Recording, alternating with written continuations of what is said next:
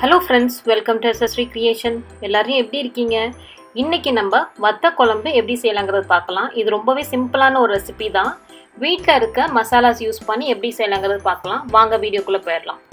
இன்றைக்கி பார்த்தீங்கன்னா நான் மண்சட்டியில் தான் வத்த குழம்பு செய்ய போகிறேன் ஃபஸ்ட்டு பார்த்தீங்கன்னா ரெண்டு டேபிள் ஸ்பூன் போல் நல்லெண்ணெய் ஆட் பண்ணிக்கலாம். நல்லெண்ணெய் மட்டும்தான் ஆட் பண்ண போகிறோம் இன்றைக்கி குழம்பு செய்யறதுக்கு. நல்லெண்ணெய் ஆட் பண்ணது பிறகு பார்த்தீங்கன்னா இன்றைக்கி நான் வத்த குழம்பு சுண்டக்காய் வத்தல் தான் ஆட் பண்ண போகிறேன் ஸோ சுண்டக்காய் வந்து ஆட் பண்ணிவிட்டு நல்லா வறுத்து எடுத்துக்கலாம். ஸோ கால் கப் போல் சுண்டக்காய் எடுத்துக்கிட்டேன்.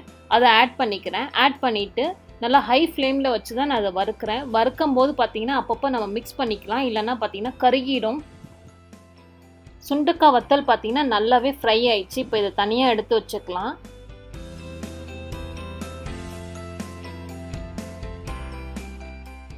ஃப்ரை பண்ண வத்தலை சைடில் எடுத்து வச்சது பிறகு பார்த்தீங்கன்னா அதிலே கொஞ்சம் பார்த்தீங்கன்னா நமக்கு எண்ணெய் இருக்குது இருந்தாலும் வந்து இந்த ஆயில் பத்தாது நம்ம குக் பண்ணுறதுக்கு அதனால மூணு டேபிள் ஸ்பூன் போல் நல்லெண்ணெய் மறுபடியும் நான் ஆட் பண்ணிக்கிறேன். எண்ணெய் ஆட் பண்ணது பிறகு பார்த்தீங்கன்னா கடுகு உளுந்தப்பருப்பு சோம்பு ஜீரகம் வெந்தயம் வந்து கால் கால் டீஸ்பூன் எடுத்திருக்கேன். கூடவே பார்த்தீங்கன்னா பெப்பர் வந்து பத்து போல் ஆட் பண்ணிக்கிட்டேன்.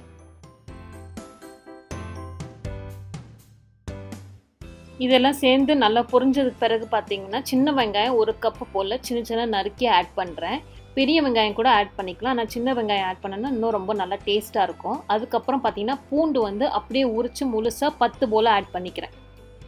வெங்காயம் பூண்டு ஆட் பண்ணது பிறகு பார்த்தீங்கன்னா கூடவே வந்து கருவேப்பிலை வந்து ஆட் பண்ணிக்கிறேன். கருவேப்பிலை நம்ம இப்போயே ஆட் பண்ணோன்னா நல்லா வாசனையாக இருக்கும். அதோடு சேர்த்து தேவையான அளவுக்கு உப்பு ஆட் பண்ணிக்கிறேன்.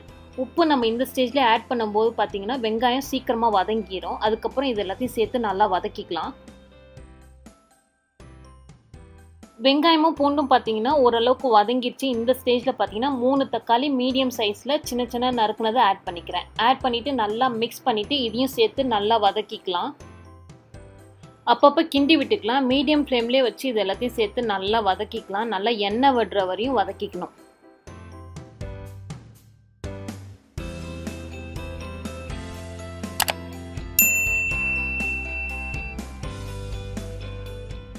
வெங்காயம் தக்காளி பார்த்திங்கன்னா நல்லாவே வதங்கிடுச்சு இப்போ இந்த ஸ்டேஜில் பார்த்தீங்கன்னா மிளகாய் பொடி ஒரு டேபிள் ஸ்பூன் போல் ஆட் பண்ணிக்கிறேன்.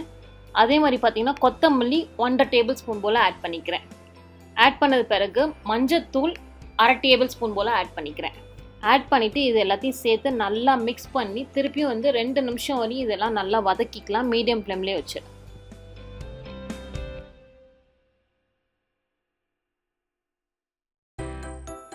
இது எல்லாத்தையும் சேர்த்து நல்லா வதக்குனது பிறகு பார்த்தீங்கன்னா ஒரு கப்பு போல் புளி வந்து கரைச்சி வச்சுருந்தேன். புளியோட அளவு பார்த்தீங்கன்னா கரெக்டாக ஒரு எலுமிச்சம்பள சைஸு ஸோ அதை வந்து கரைச்சதை நான் ஆட் பண்ணிக்கிறேன் இப்போ.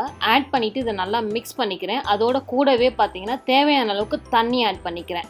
தண்ணி பார்த்தீங்கன்னா ஆல்மோஸ்ட் ரெண்டு கப் போல் ஆட் பண்ணேன் நான்.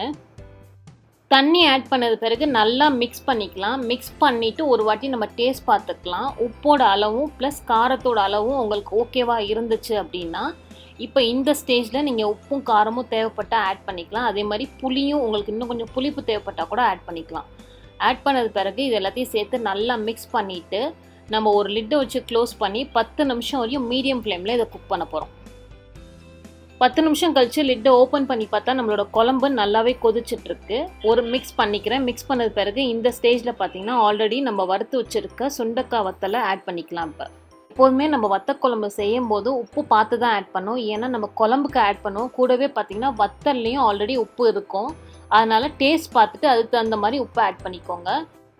சுண்டைக்காய் வத்தல் ஆட் பண்ணது பிறகு நல்லா மிக்ஸ் பண்ணிக்கலாம். மிக்ஸ் பண்ணது பிறகு மீடியம் ஃப்ளேம்லேயே வச்சு பத்துலேருந்து பன்னெண்டு நிமிஷம் வரையும் நல்லா குக் பண்ணிக்கலாம். இப்போ குழம்பு நல்லாவே கொதிச்சிட்ருக்கு. அதே மாதிரி பார்த்தீங்கன்னா எண்ணெய் விட ஆரம்பிச்சிருச்சு. இப்போ இந்த ஸ்டேஜில் பார்த்தீங்கன்னா பெப்பர் பொடி வந்து ஒரு டீஸ்பூன் போல் ஆட் பண்ணிக்கிறேன்.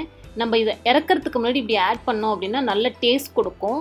இப்போ இது எல்லாத்தையும் சேர்த்து நல்லா மிக்ஸ் பண்ணிவிட்டு ரெண்டு நிமிஷம் வரையும் மறுபடியும் குக் பண்ணிக்கிறேன். பெப்பர் பொடி ஆட் பண்ணதுக்கு பிறகு ரெண்டு நிமிஷம் குக் பண்ணிக்கலாம். குக் பண்ணது பிறகு பார்த்தீங்கன்னா கருவேப்பிலை கொஞ்சம் ஆட் பண்ணிக்கிறேன். ஆட் பண்ணது பிறகு ஃப்ளேம் ஆஃப் பண்ணிக்கலாம். நம்மளோட வத்த குழம்பு சூப்பராக ரெடி ஆயிடுச்சு.